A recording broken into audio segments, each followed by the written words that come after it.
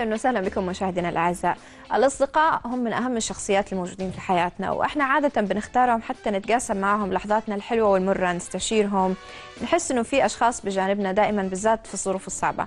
لكن طباع بعض هؤلاء الأشخاص ممكن انها تضايقنا، خصوصا إذا كانوا من النوع اللي يحبوا يتباهوا دائما بتفوقهم ويحاولوا دائما إنهم يثيروا غيرة اللي حواليهم وغضبهم ويعتقدوا إنهم دائما الأفضل.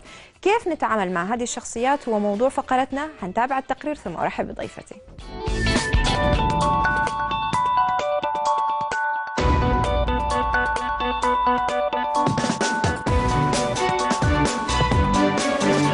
من الطبيعي أن يتفاوت الأشخاص في الذكاء والقدرات ولكن هناك بعض الفتيات المتميزات اللواتي يحاولن التباهي أمام الصديقات كما يستغل هذا التميز لإثارة غيرة صديقاتهن فتكون المنافسة غير شريفة.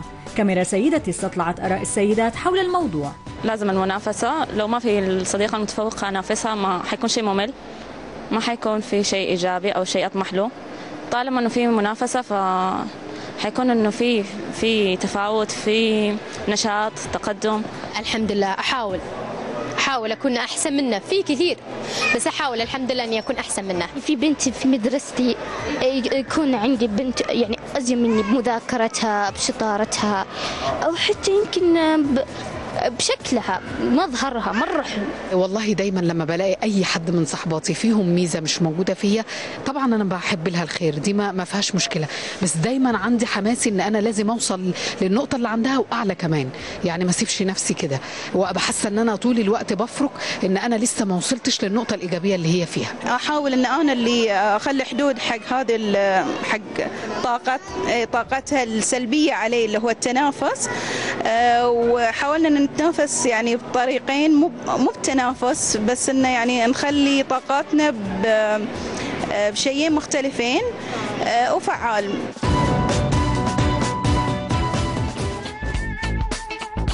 مشاهدينا للحديث أكثر عن هذا الموضوع اسمحوا لي أرحب معي بالدكتورة هبة شركس مستشارة نفسية وخبيرة أسرية وتربوية. أهلا فيك دكتورة هبة. أهلا بك. دكتورة موضوع الأصدقاء اللي يحبوا يتباهوا أو يحاولوا دائما يظهروا إنهم المتفوقين والأفضل يا ريت نشرح شخصيتهم أكثر نفسيتهم وإيش أبرز الصفات اللي لو أي شخص شافها ممكن يعرف بسهولة إنه هذول هذا النوع من الأشخاص يعني. النوع ده من الأشخاص هي شخصيات استعراضية. بتستعرض دايما يا إما بممتلكاتها يا إما بعلمها يا إما بتفوقها. وده بيكون ناتج عن عدم نضج كامل في الشخصية لأن الشخصيات الناضجة بتكون راضية عن نفسها وواثقه في نفسها وما بتحتاجش لأن هي تعمل آه مثل هذه الممارسات. يعني مش هتقعد مش هيقعد حد يستعرض بعلم مثلا معين أو يستعرض بإمكانيات أو بمهارات معينة إلا لو كان هو مش حاسس بذاته مش مش واثق من نفسه بما فيه الكفاية. يشعر بالنقص يعني. آه بالظبط تحديدا. أو عدم النضج يعني أحيانا بيبقى من دافع مثلا عملت حاجة إيجابية وعايزة أشارك أصدقائي فيها. فآجي أتكلم وأبالغ وأسترسل في في الكلام وما اديش فرصة لحد يتكلم فتحول بعد كده لشخصية استعراضية. فطبعا الشخصية الاستعراضية شخصية مزعجة جدا بالنسبة لكل الناس اللي حواليها. آه لكن في شخصيات بتعرف تحتوي هذه الشخصية يعني الاستعراضية وبتقدر إن هي فعلا تبث فيها الثقة في نفسها فبيقل الاستعراض عندها. كيف تقدر هذه الشخصيات اللي هي يعني تقدر يعني تمتص هذه الشخصيات. يعني لو إحنا بنتكلم في مجال الصداقة لو صديقة حقيقية فبتبقى مراية لصديقتها فبتبدأ تقول لها انت ناجحة فعلا وانت كذا فعلا لكن كلامك عن نفسك كتير بيقلل من مكانتك. فانت بالعكس يعني كل ما كنت ناجحة في صمت وتسيبي الآخرين هم وإنجازاتك هي اللي تتكلم عنك هيكون أفضل. فبالنصايح وبإن هم يكونوا صد يعني أصدقاء فعلا وصادقين مع بعض ممكن هذه الشخصية تبدأ تقلل شوية من الاستعراض اللي موجود عندها. وغالبا الشخصيات الاستعراضيه بيبقى فيه خلل نفسي في داخلها من الطفولة. أيوه يعني أنا كنت حابة أسأل حضرتك لأنه أنا دائما أعتقد أي مشكلة في أي شخص تبدأ من الطفولة. فكيف تربية الأهل عادة لهؤلاء الأشخاص؟ إيش التصرفات أو السلوكيات الخاطئة اللي بتربي عند هؤلاء الأشخاص حب الاستعراض؟ النقد. آه النقد, النقد المستمر. النقد المستمر والنقد الهدام مش البناء. م. يعني النقد سلاح ذو حدين. يعني بيطور الشخصية يا إما بيهدم بيهدمها. الشخصية على حسب م. أسلوب النقد. يعني لو أنا كل ما بقابلك بنتقدك بنتقدك بنتقدك الطفل بيبدأ يكون صورة عن ذاته إن هو سلبي. آه وإن هو شخصية سلبية وإن شخصية غير مرغوب فيها. فلما بيحقق إنجازات بعد كده بيفتخر بإنجازاته آه، عوضا عن الافتخار بذاته. فدي هنا بتبقى إيه مشكلة. لكن لو في نقد في نقد بناء إن أنا أذكر مميزاتك ومحاسنك وبعد كده أقول لك بس فيكي نقطة صغيرة كده لو عدلتيها هيبقى أوكي وأنا واثقة ومتأكدة إنك هتقدري تعدليها. فهنا التشجيع والثقة بالنفس وذكر المحاسن مع النقد بيخلي ال- النقد يكون بناء. فهو غالبا الشخصيات الاستعراضية بتبقى اتعرضت لنقد شديد أو اتعرضت لإحساس بالدونية وهي صغيرة. كان بيتقلل من شأنها يعني طيب عادة إيش هي يعني أفضل طرق التعامل مع هالاشخاص؟ مثلا مو ضروري يكونوا أصدقاء لأنه أحيانا في ناس محيطين فينا مثلا من الأقارب من المعارف من المجتمع ممكن ناس في العمل يكونوا من هذه الشخصيات اللي أحيانا ممكن مزعجة تكون لغيرها، إيش أفضل طرق التعامل مع هؤلاء الأشخاص بدون ما الواحد يزعجهم بس بنفس الوقت كمان هم ما يزعجوه؟ طيب آه، هو خلينا نقول لو مثلا شخصية استعراضية قابلتيها بنفس الاستعراض اللي هي بتستعرض بيه ده هيزود المشكلة يعني عادة ما نقابلش هذه الشخصيات بأن إحنا نستعرض اللي عندنا وما نخليهاش تشدنا في دايرتها. يعني هذه الشخصية مثلا عمالة تستعرض وعمالة تتفاخر ما اروحش أنا كمان بقى أبقى أستعرض وأتفاخر. فإحنا نقف بعيد عن الدايرة ون- ونتأمل من من الخارج ونحاول إن إحنا يعني لو لو شخص ما يهمكيش قوي بتحاولي إنك تسمعي وتمرري خلاص. يعني الموضوع ما عادش بيفرق معاكي. كمان لما بتكون انت عندك ثقة بنفسك وعندك ثقة ب- بأدائك بالعكس بتحسي بالشفقة ناحية الشخصيات دي يعني آه، يعني بتتمنى لها فعلا إن هي تكتسب ثقة ذاتية آه، عوضا عن ال- الاستعراض اللي هي بتمارسه يعني. هل المصارحة لها دور مهم في حل هذه المشكلة؟ يعني لما يكون شخص مقرب لهذه الشخصيات سواء صداقة أو معرفة كيف ممكن تكون طريقة المصارحة بشكل ما يزعج أو ما يجرح وفي نفس الوقت يكون يعني شخص يقدم آه، نصيحة أو يقدم طريقة للمعالجة هو طبعا لازم يكون الشخص قريب جدا من من الشخصية دي.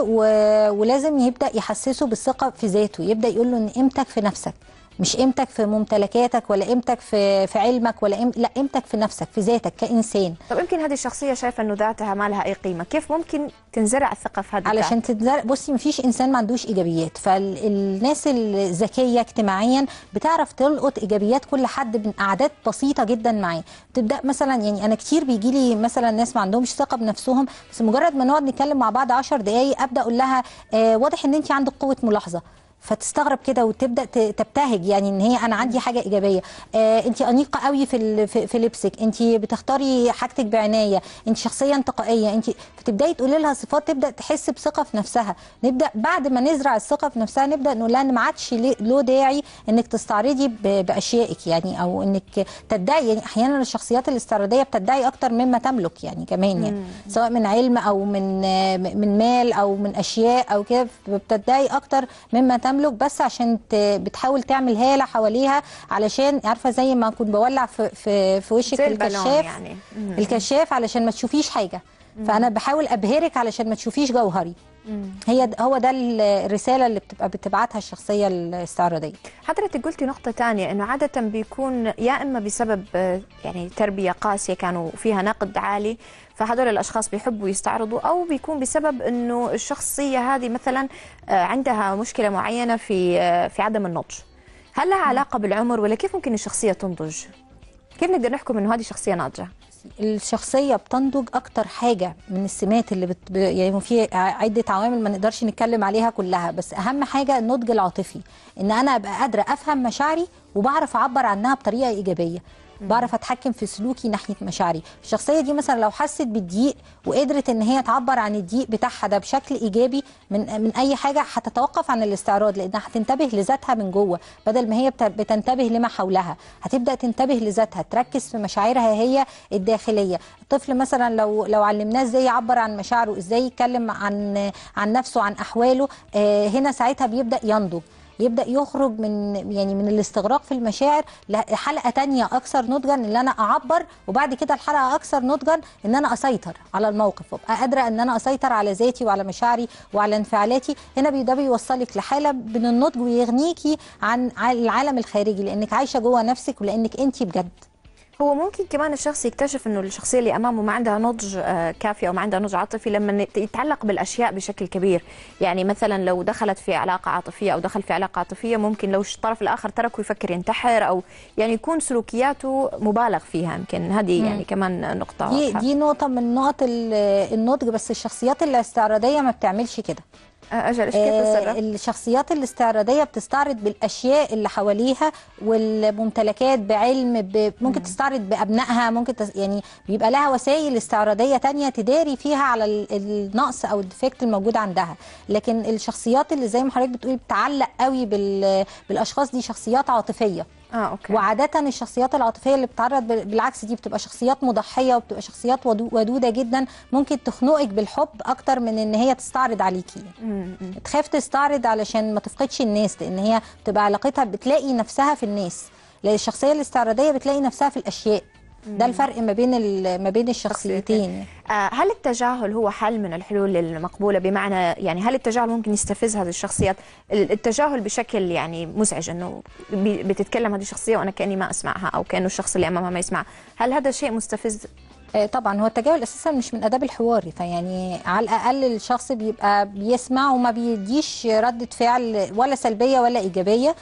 فده ممكن يكون أكثر يعني الحيادية لائق يعني. أكثر. آه يعني الحيادي. يكون حيادي. لكن لو هو تجاهلها بشكل آه، صارخ ده؟ هيستفزها أكتر وهتستعرض أكتر أو هتتوتر وهتبدأ تتنرفز وممكن يحصل مشكلة. مشاكل. آه آه ممكن يحصل مشاكل يعني. لأن ما بتحبش ال- الأسلوب بتاع التجاهل لكن ممكن من الذكاء إن أنا أسمعها وأغير الموضوع.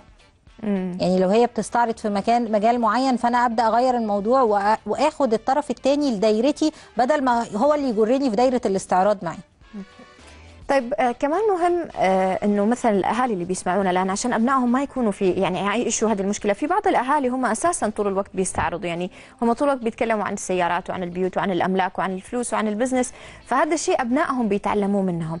ال- الأمهات اللي بيسمعونا الآن وعندهم مثلا سواء كان زوجها أو هي أو أحد من أقاربهم بيتصرف بهذه الطريقة.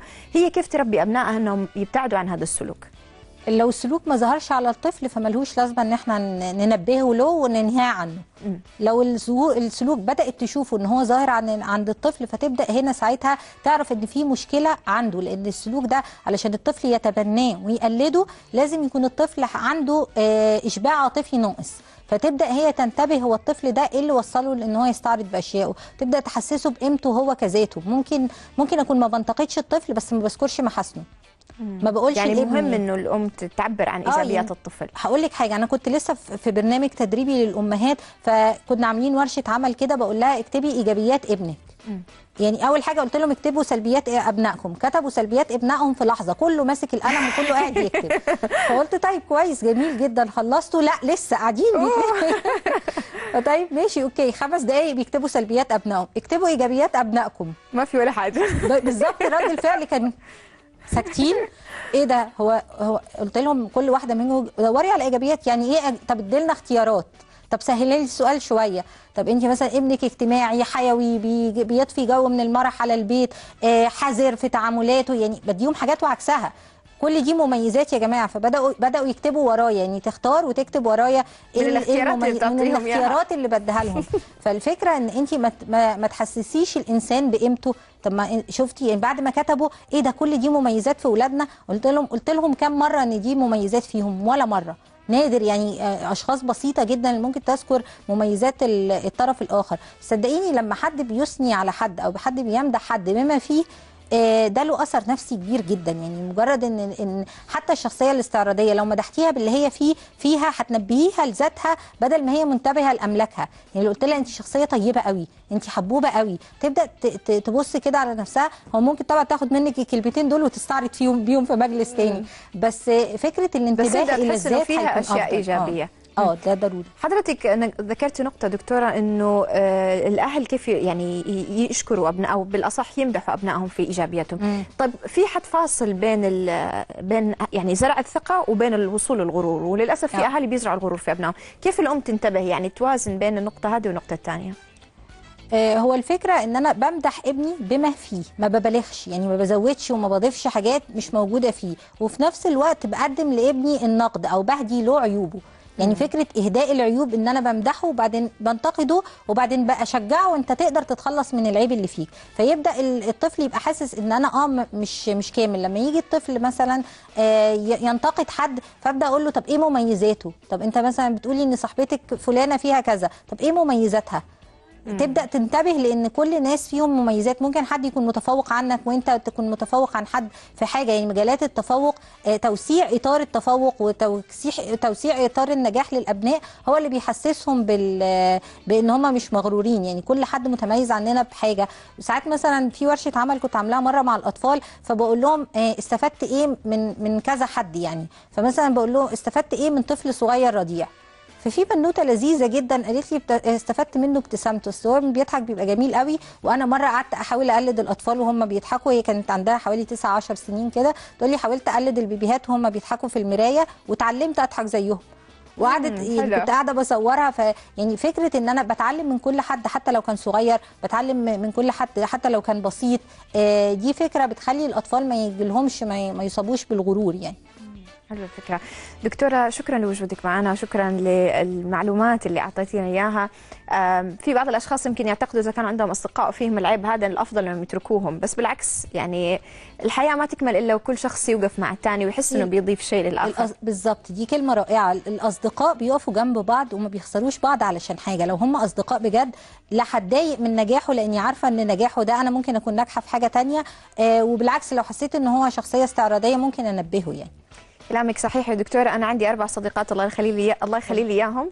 ما تتخيلي قديش مهمين في حياتي و- وبيشجعوني على إني أنجح في حياتي ودائما جنبي. فالأصدقاء شيء مهم جدا. ما في أحد كامل. دائما الواحد المهم إنه يحتضن الآخرين من حواليه. يعطي وياخذ في النهاية. شكرا لك دكتورة. مشاهدينا سيدتي مستمر. فاصل وراجعين. خليكم معنا.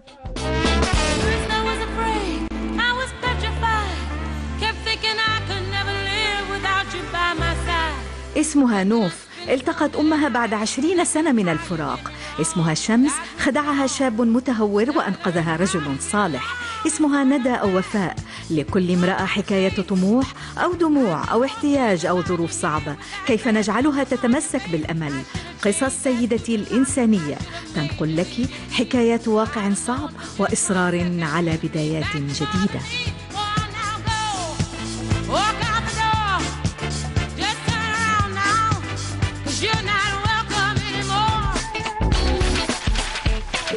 سيدتي بعد الفاصل. حكاية فشل بداية أمل ملتقى للتحفيز على الإبداع الإنتاج والطاقة.